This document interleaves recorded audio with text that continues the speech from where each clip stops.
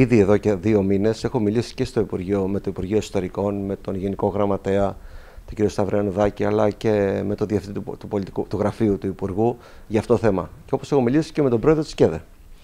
Έχω μιλήσει για τη διατηρητή. Έχουμε μάλιστα φτιάξει συντάξει ένα υπόμνημα. Εμείς το έχουμε δώσει στον ε, Πρόεδρο της ΚΕΔΕ, όπου τους ζητούσαμε τότε να βρεθεί τρόπος ώστε να υποστηριχθούν το θέμα με τα διατηρητέα τα οποία χρήζουν και επικίνδυνοτητα ε, με το σκεπτικό ότι προφανώς δεν μπορεί η πολιτεία να υποστηρίξει την ανακατασκευή 20.000 διαταρητέα που υπάρχουν στη χώρα μας, όμως θα μπορούσε να χρηματοδοτήσει την άρση επικινδυνότητας. Να δώσει δηλαδή στους ιδιώτες μέσω των Δήμων, μέσω των φορέων κάποια χρήματα, 10-20.000 όσα χρειάζονται, ώστε να άρουμε την επικινδυνότητα και να προστατεύσουμε τους πολίτες.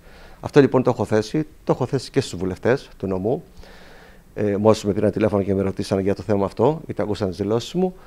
Και είδαμε ότι σήμερα και όλες από χτες, το, από χτες υπήρξε μια σύσκεψη με τον Πρωθυπουργό και άλλους φορείς όπου είναι σε αυτή την κατεύθυνση. Δηλαδή, το να αναλάβουν ο Δήμος ή φορείς την ε, ανακατασκευή κτηρίων που χρήζουν επικινδυνότητας, να πληρωθούν τα χρήματα μέσα από την πολιτεία και μετά ο Δήμος να εκμεταλλευτεί αυτά τα κτίρια για την εξόφλησή τους όπως σαν να τα έχει νοικιάσει ας πούμε. Και αυτά τα κτίρια να επιστραφούν μετά στους ιδιοκτήτες, μετά το πέρας αυτής της ε, εξόφλησης, ας πούμε, αλλά ο ιδιοκτήτης να μπορεί να χρησιμοποιήσει τον συντελεστή δόμησης για άλλες περιοχές. Υπάρχουν κάποιες εξελίξεις πολύ θετικές. Δηλαδή, βλέπουμε μια κινητικότητα. Εμείς, αν θυμόσαστε την Παρασκευή, είχα ανακοινώσει ότι στο επόμενο συνεδρία του Δημοτικού Συμβουλίου θα μιλήσουμε για τα διατηρητέα, διότι πρέπει να, πρέπει να υπάρχει ένας εθνικός σχεδιασμός για τα διατηρητέα.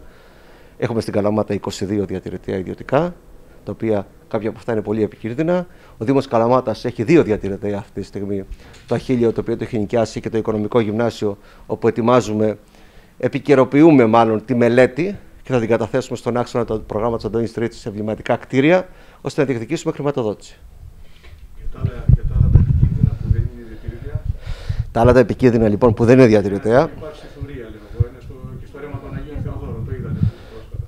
Τα άλλα, ε, τα άλλα επικίνδυνα που δεν είναι διατηρητέα, η διαδικασία είναι συγκεκριμένη που ακολουθείται. Θα πρέπει να υπάρξει έκθεση από την Επιτροπή, η έκθεση αυτή να διαβαστεί εκεί που πρέπει και να ακολουθούν νόμιμες διαδικασίες ώστε να γίνει κατεδάφιση και να καταλογιστεί μετά το ποσό της κατεδάφισης στον ιδιοκτήτη που δεν έχει κάνει την, την κατεδάφιση και δεν έχει άρει την επικίνδυνοτητα. Είναι διαδικασίες συγκεκριμένες που ακολουθούνται. Έχουμε ισορρίσαμε δύο επιτροπές, μία για την Καλαμάτα, μία για εκτός Καλαμάτας, για να μπορούν και δύο επιτροπές να φέρουν αποτελέσματα.